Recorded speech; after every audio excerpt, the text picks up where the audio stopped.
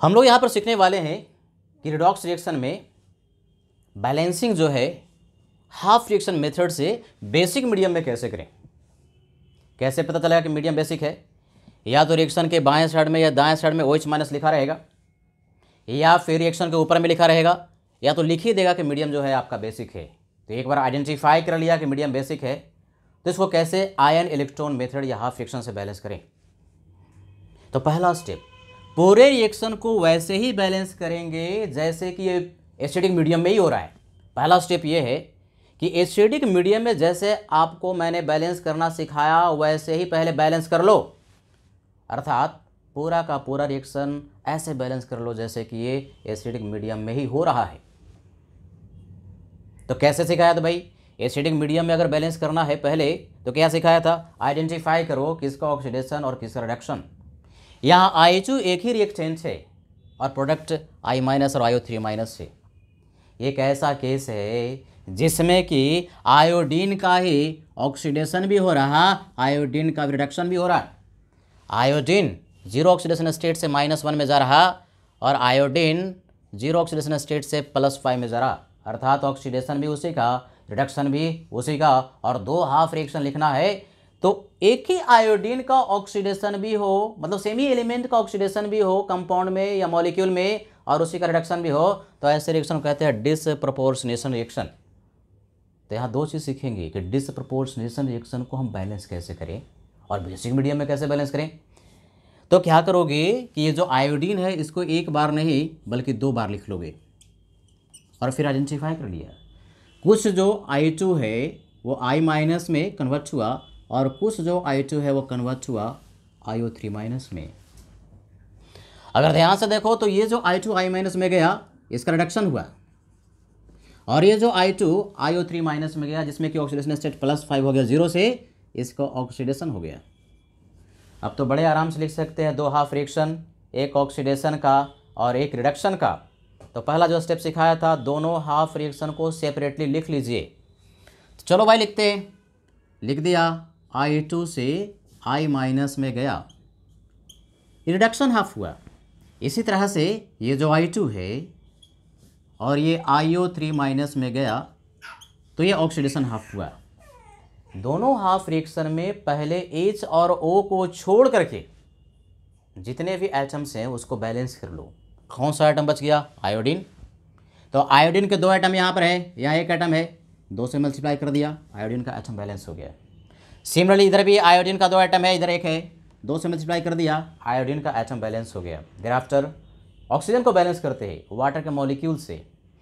तो यहाँ पर तो ऑक्सीजन है नहीं भाई। यहाँ पर काउंट करो, तीन दूना छः सिक्स ऑक्सीजन के एटम्स को बैलेंस करने के लिए वाटर का मॉलिक्यूल का हेल्प लेते हैं।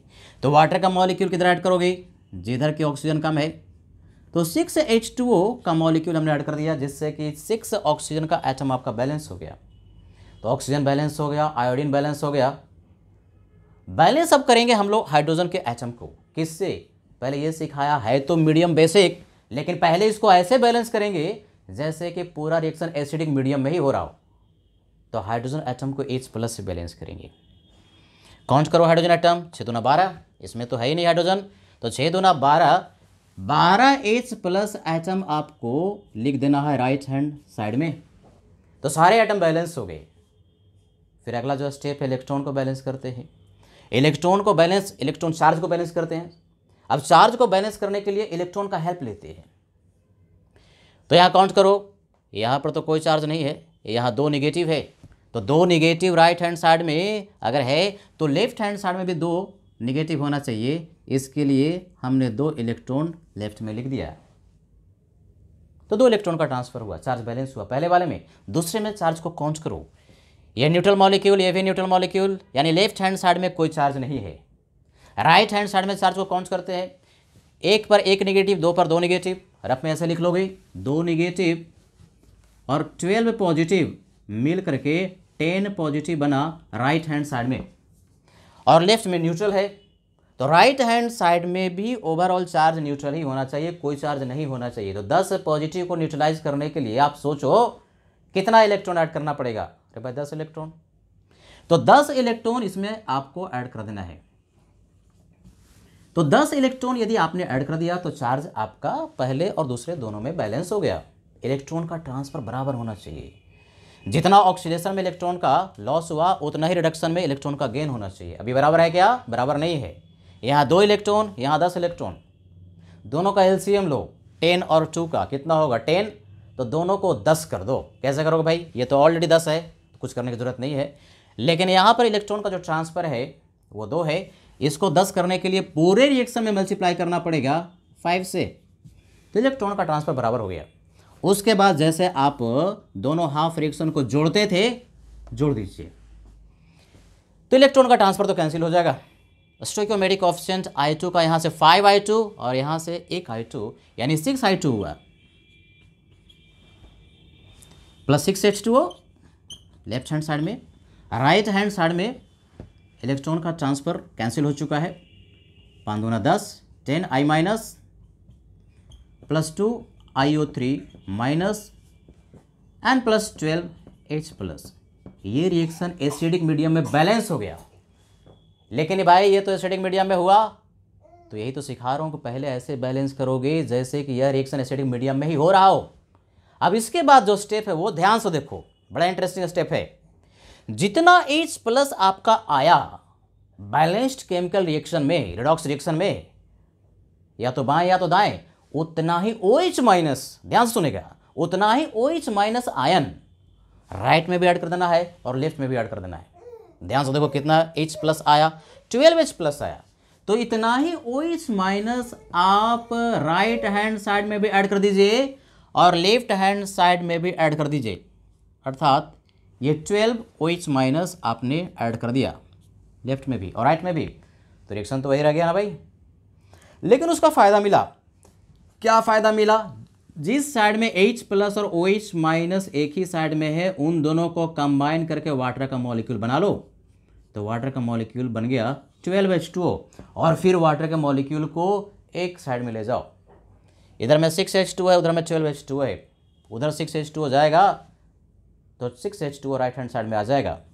और फिर रिएक्शन को फिर से लिखते हैं। तो ये हो जाएगा twelve O H minus plus six I two water को राइट हैंड साइड में ले जाओ। ये हो जाएगा ten I minus plus two I O three minus and plus twelve H two O minus six H two O that is कल two six H two O अब finally ये भी एक बार देख लो कि सारा चार्ज बैलेंस है कि नहीं। इधर में बारह निगेटिव है और इधर में दस और दो बारह निगेटिव है। चार्ज बैलेंस है। एटम को भी काउंट कर लो। ऑक्स आयोडीन के छः दुना बारह आयोडीन है और यहाँ पर भी दस और दो बारह। इस तरह से ऑक्सीजन और हाइड्रोजन जितने भी आइटम सबको काउंट कर लो बैलेंस है कि नहीं? और यदि स्टोइकोमेट्रिक कॉफिशेंट यदि कुछ कॉमन हुआ, उसको कैंसिल आउट भी करो। बारह है छः है, दस है, दो है छः है। कुछ कॉमन नज़र आ रहा है? दो कॉमन है। तो दो अगर हम कॉमन ले लेंगे तो ये हो जाएगा three I two and plus six O H minus right hand side में five I minus and plus I O three minus and plus three H two O. तो ये जो रिएक्शन है फाइनली बेसिक मीडियम में आपका balance हो गया। Observe करो, अब आपके पास रिएक्शन में एच प्लस नहीं, बल्कि ओ एच माइनस है।